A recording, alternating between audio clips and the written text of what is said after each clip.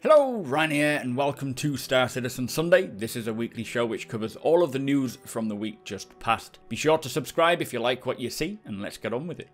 This week, we hear more regarding the FPS changes coming in Alpha 323 and beyond. We check out the character customizer and all that comes with it. There is a new Overdrive Initiative event, plus Cloud Imperium are heavily teasing creatures.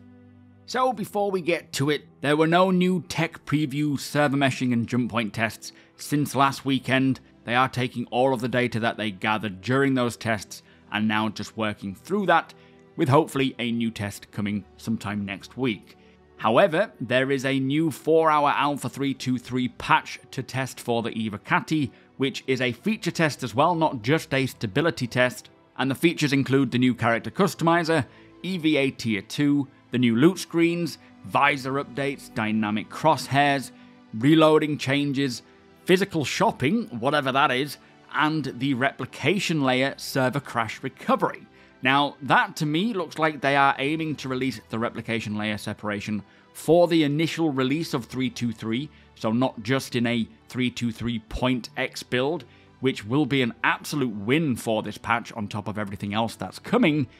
And it would also indicate that if they do implement the replication layer separation, then fauna might be more of an actual guarantee for 323, as the creatures might behave as intended. I'm sure we will learn more as the patch goes live, but that is a great way to end the week, and I can't wait to see what the results are of Alpha 323's feature test. So, this week's Inside Star Citizen was all about the upcoming character creator for Alpha 323. Now, they say the character creator in Star Citizen is so important as it gives ownership over the player's avatar in game, and they want the player to fully represent themselves in the Star Citizen universe.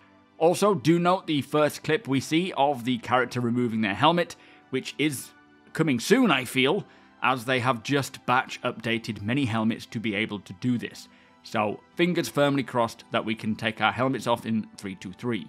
Anyway, for the character customizer in Alpha 323, it is broken into four main sections, starting with the DNA system, although do notice as well, there are actually five tabs, with the first one being body type. They do want players to eventually have the choice of body, be that thinner, fatter, amongst other options, but it looks like it might not be coming with 323 unless they are surprising us with that and these won't allow extremities in either way. As metrics apply, the players need to be able to fit in their chairs, to be able to see over dashboards.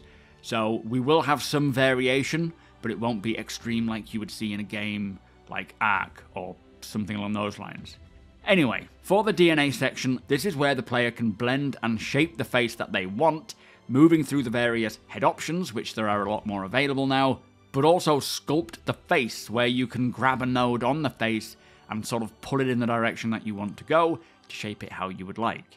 Now, in this section, you can also adjust the skin tone and texture with a wide range of skin shades, freckles, blemishes, plus they have even more scanned faces to come in the future, so what we have for 323 will expand.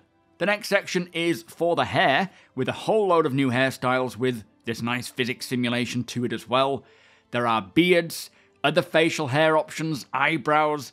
Really happy to see beards finally coming along, and there looks to be quite a decent range of them as well. Uh, you also have a load of new different colour options for your hair, from natural colour blending, dye options, and gradients for multiple hair locations, and how much of the hair is coloured at the tips or the roots, and you can have either or or both at the same time. Uh, plus, they did say there will be a lot more hairstyles in the future as well.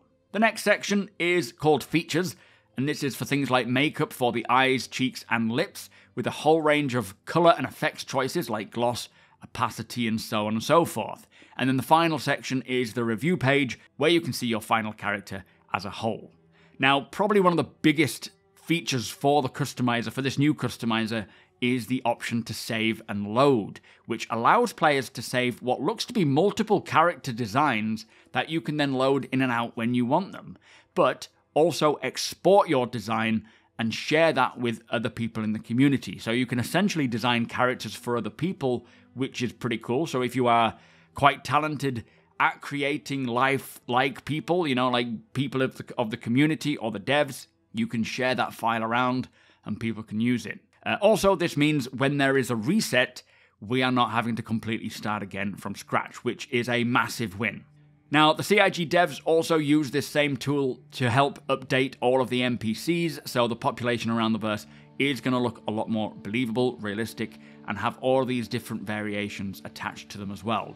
And Jared did say that tattoos, scars, and piercings are on the way, but these will come post 323, so not for the initial release. Which I'm very happy to hear about that they are on the way, but a shame it is not in 323 itself. Now, it is pretty clear to see the range of customization we have for the new character customizer in 323 is pretty phenomenal. They are certainly some of the best looking characters I have seen in any game, and they're not done yet. But also, it is going to be wonderful being able to save our characters. Uh, also, before they ended, a phone was held up with another tease of creatures, this time kind of a bird style pterodactyl flying creature that looked like they might be open to attacking players and NPCs, but CIG are hinting more and more to creatures, and if I was to guess, I presume they're coming in 323, because we also saw, as I've probably mentioned already, I don't know if I have, there was a tease of a cave dog style animal on RSI socials, so I think it is safe to say the PU is going to get a lot more dangerous and a lot more interesting from 323 onwards. Anyway, with that said, that is Inside Star Citizen. Let us move on. So this week's Star Citizen Live was a Q&A with members of the FPS team who we met and heard from on a recent Inside Star Citizen. The first question for them was about the Sniper Scope Glint, why it is there, how does it work, and who will see it.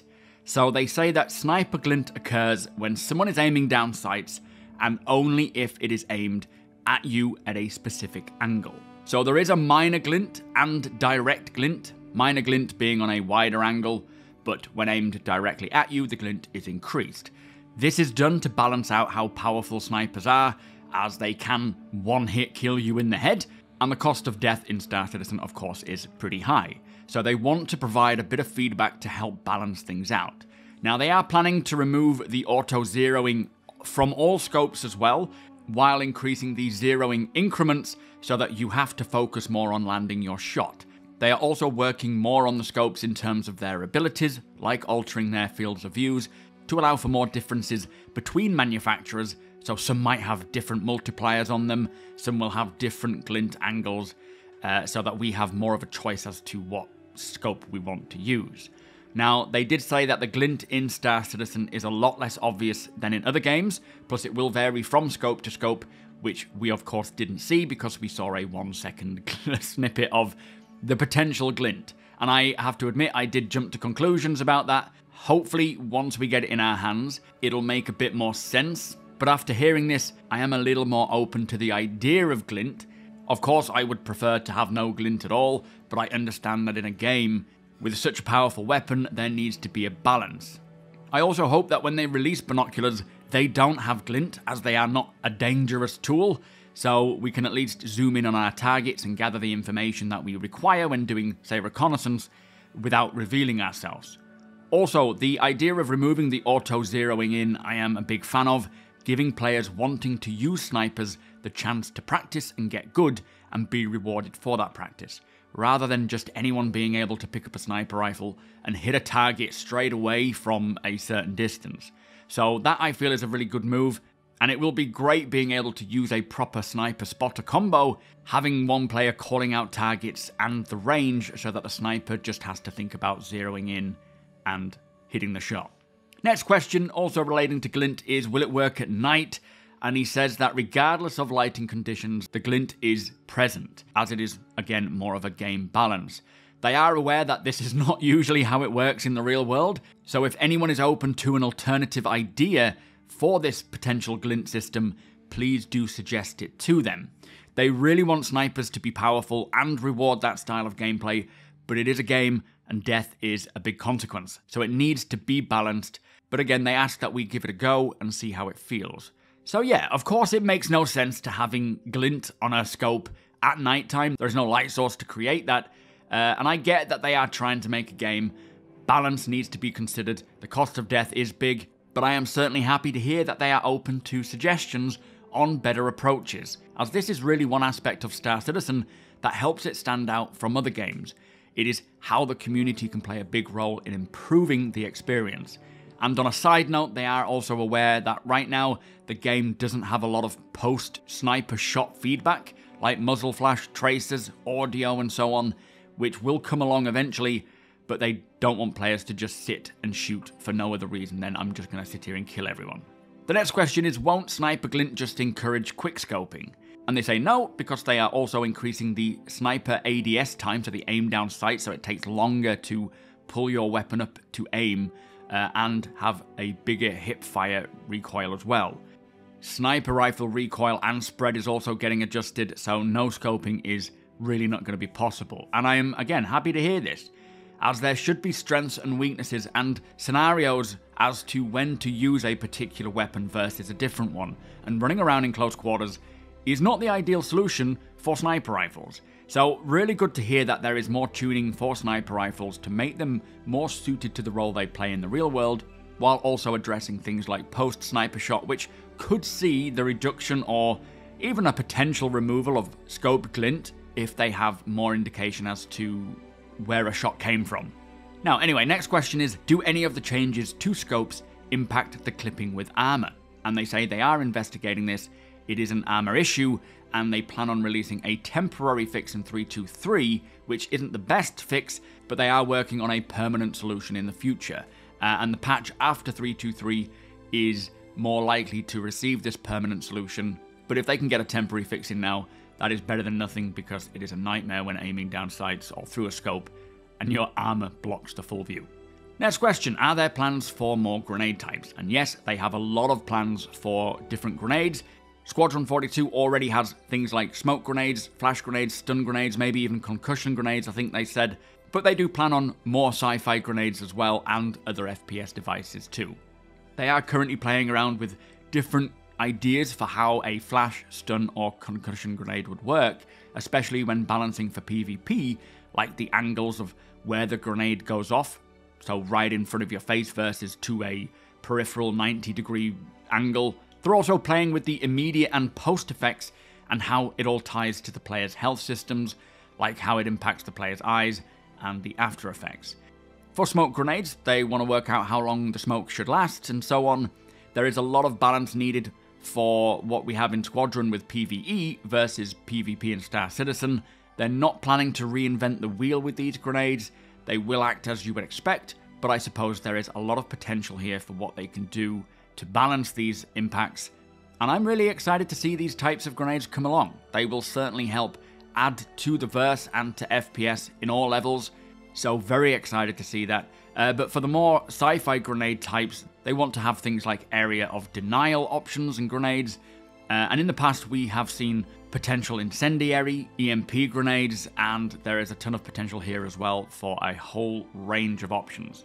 Now, next question is are there any plans to replace the current percentage of health that we have with a more immersive option like heart rate or blood pressure?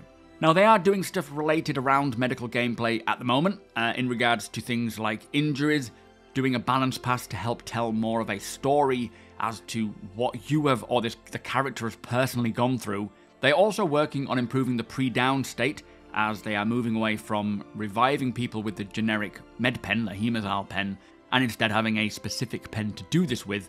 Uh, but they also want to give players who enter a pre down state the option to at least crawl to safety so they can be revived.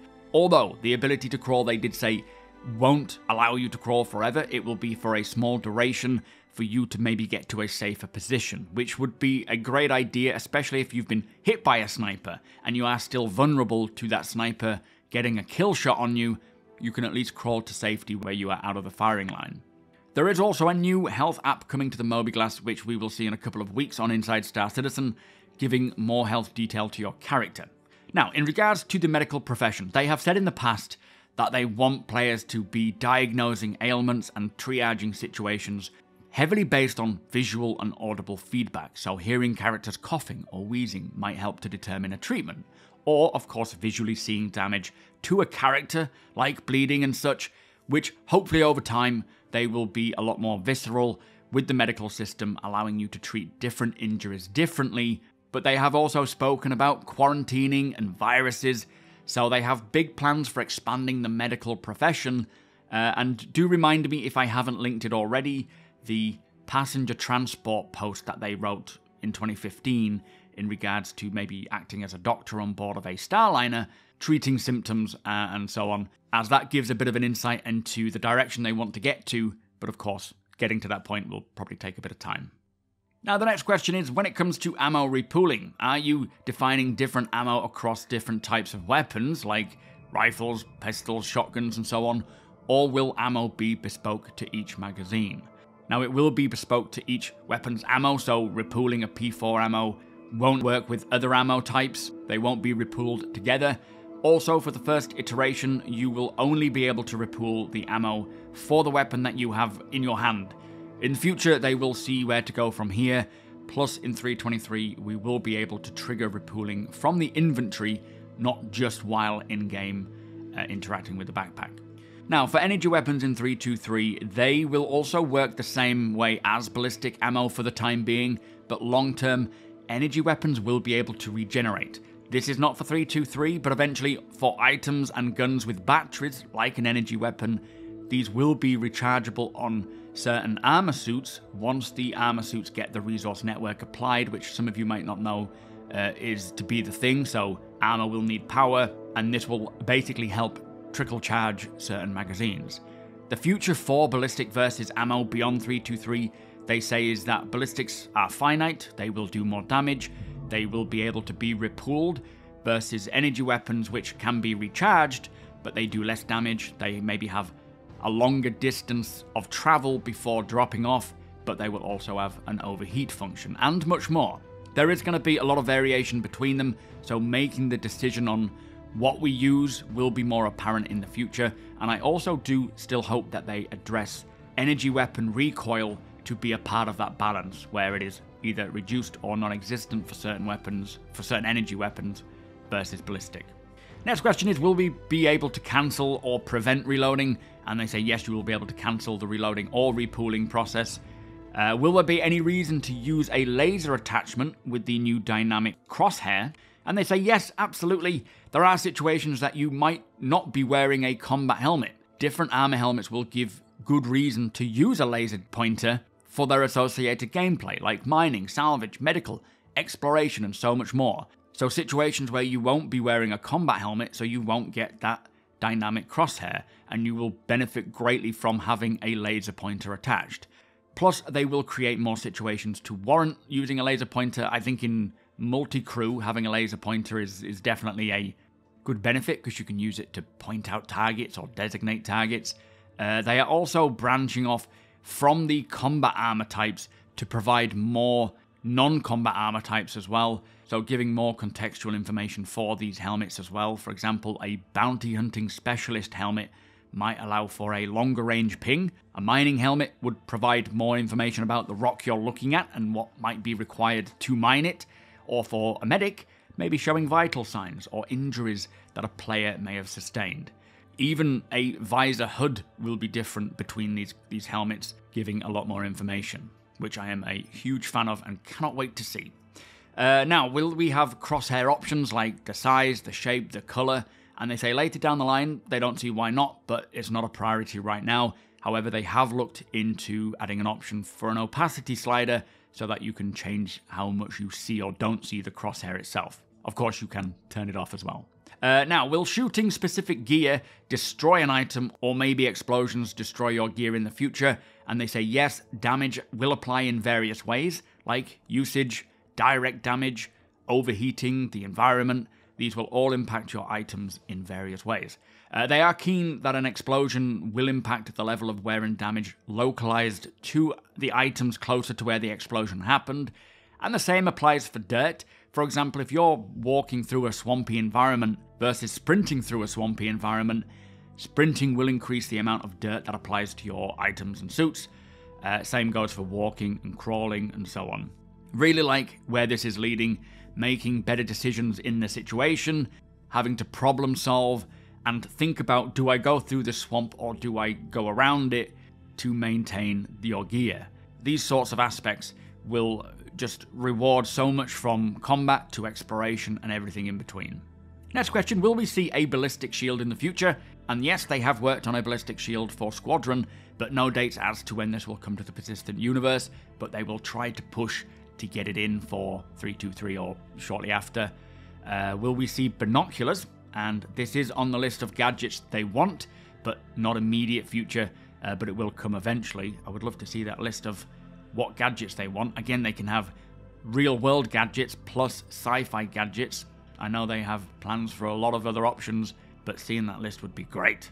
Uh, next question is what ammo variants are planned? Now, they don't speak about ballistic ammo, but for energy types, they have plans for a better plasma implementation with damage over time effects and maybe having it more volatile than energy weapons.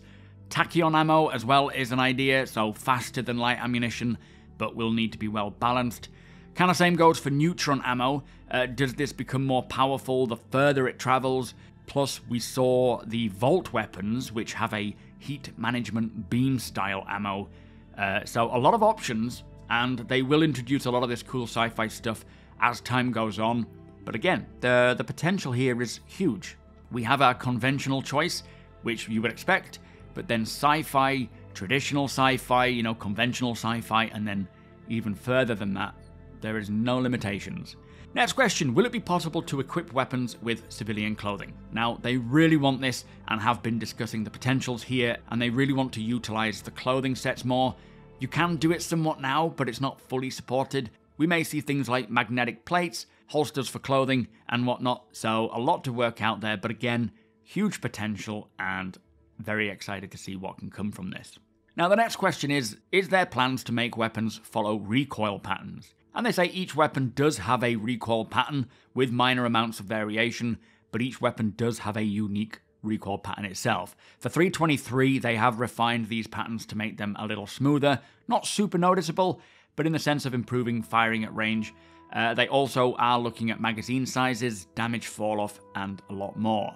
For sliding, this isn't coming in 323. Uh, they are aware of a lot of concerns about sliding making Star Citizen feel very arcadey, and they don't want that to be the case. It is a movement that is used primarily to get you to cover, so it'll have a high stamina cost. You can't fire or enter aiming down sights while going into a slide. It is a committed defense action, which they say they want to make it make sense to the Star Citizen universe and will provide more details as it comes closer to releasing.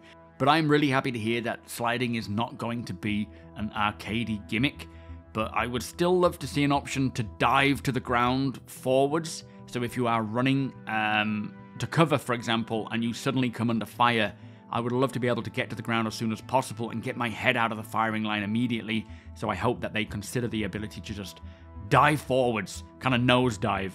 Next question is What is your stance on force reactions in regards to gunfights? And they say they have toned down the force reactions for 322 and are looking into removing staggering off of all FPS weapons, but still keep flinching in, and of course, grenades will potentially knock you down. They are aware that these staggers are a big pain point for FPS, so they are looking into it. Next question How will shotguns be made more relevant? Now, they are doing a big balance in 323 as they have taken a lot of feedback about damage profiles, and shotguns will bring the pain. They will be very powerful, they don't want to make them overpowered, but things like tighter spreads to improve accuracy at distance is something they want to look into. Uh, other improvements will include changes to things like the railgun and the grenade launchers in PvP scenarios, they will become stronger. But of course, uh, in my opinion, a lot of balance needs to happen here because we don't want people running around railgunning everybody. Next question is What are the challenges remaining to get FPS in Star Citizen feeling less alpha and more akin to that of a modern FPS shooter?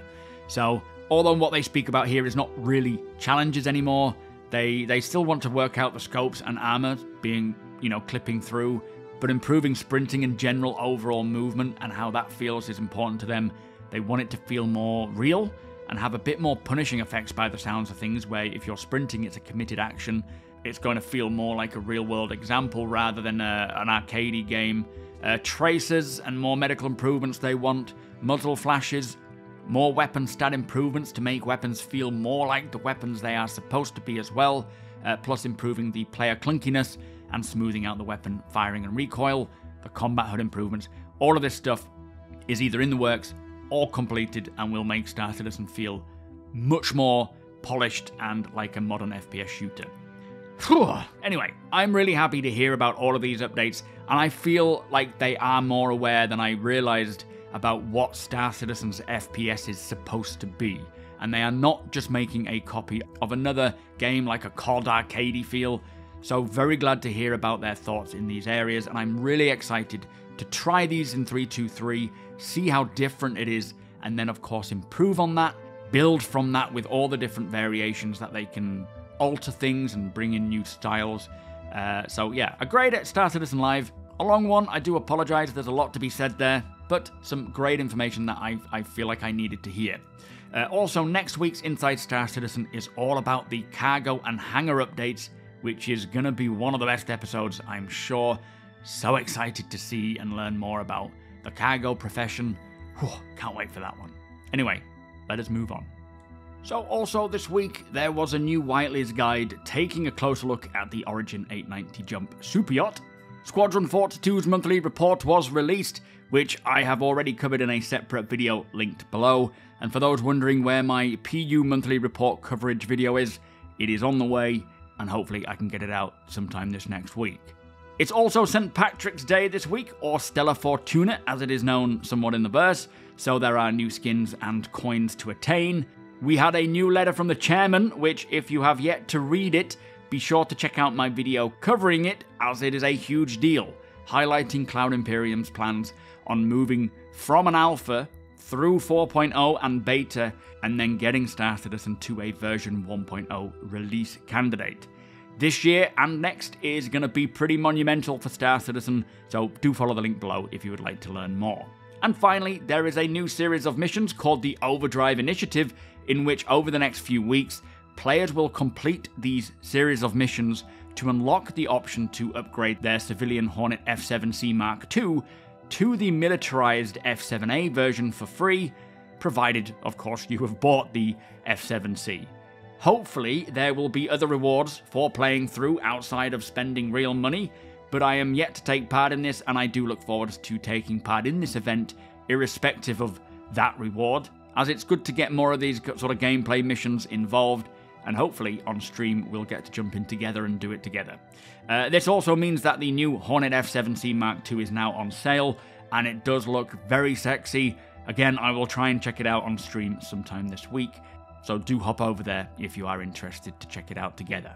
So that brings us to the end of the show. If you do enjoy my content, please consider subscribing and hitting that like button. Also, I am able to do this thanks to my very generous patrons and channel members. If you appreciate what I do and would like to help make it even better from as little as $1 a month, all of the links are provided below.